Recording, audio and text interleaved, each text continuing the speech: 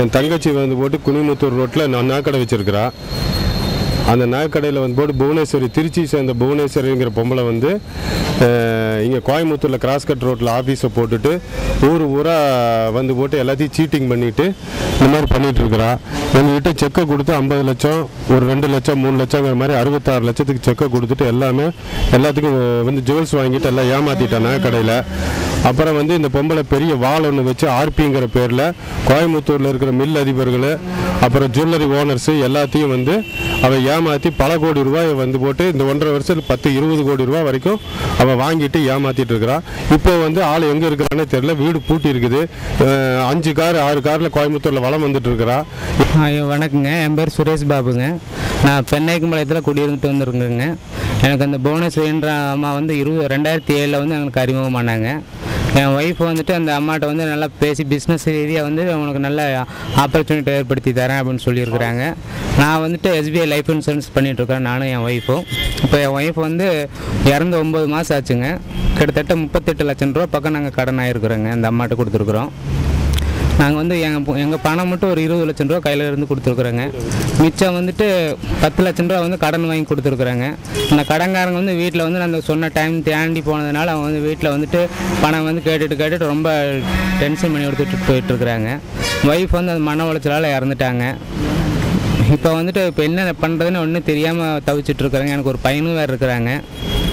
அந்த பையன் வந்து இப்போ ரொம்ப ஃபீலிங்கில் இருக்காங்க. அம்மா அம்மா இங்கே வந்து அதாவது இப்போ கமிஷன் ஆஃபீஸில் வந்து இப்போ இது மனு கொடுத்துட்டு போகலான்னு வந்திருக்குறாங்க. அந்த அம்மாவை தொலைவி பார்த்தாங்க. அந்த அம்மாவும் வந்து இப்போ சித்தாபுதூரில் குடி வந்திருக்கிறாங்க. அவங்க இப்போ வந்து பார்த்தோம்னா வீட்டில் வந்து ஆள் இல்லை. கேட்டால் நான் மதுரையில் இருக்கிறேன் சென்னையில் இருக்கிறேன் திருச்சியில் இருக்கிறேன் அந்த மாதிரி சொல்லிட்டு இருக்கிறாங்க. இப்போ த- அந்த அம்மா பேர் புவனேஸ்வரிங்க சார். இப்போ வந்து திருச்சியில் வந்து இருக்கிறதா எனக்கு நியூஸ் கிடச்சிருக்குதுங்க.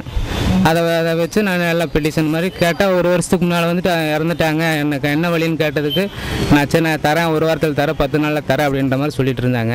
மறுபடியும் நான் வந்து போலீஸ் ஸ்டேஷனுக்கு போகிறேன் அப்படின்னு கம்ப்ளைண்ட் தரேன் அப்படின்றப்ப எனக்கு கம்ப்ளைண்ட்லாம் தர வேண்டாம். பத்து நாளில் வந்துட்டு உனக்கு நான் பணம் கொடுத்துட்றேன் உனக்கு எப்படி உனக்கு ரெடி பண்ணி கொடுத்துறேன் நான் அப்படின்றே சொல்லிட்டு இருக்கிறாங்க. டாட்டா சவேரம். ஒரு ஒரு.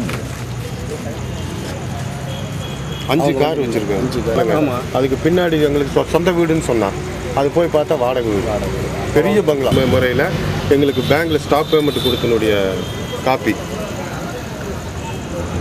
பெரிய பெரிய சேட்டுக்கெல்லாம் ஏமாந்துருக்காங்க. ஆமாங்க. ஒவ்வொரு சேட்டுக்கும் ஆனால் யாரும் புகார் கொடுக்க இன்னும் வரல. சார் நாங்கள் ஆறு கோடி ரூபா கொடுத்துருக்கோம்.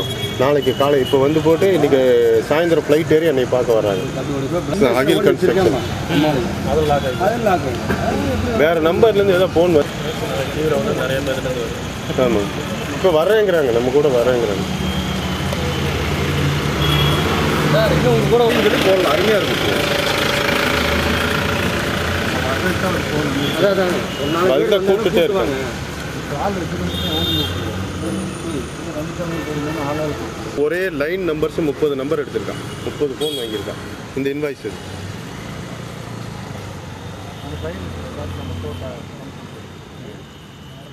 காமிக்கலாம்.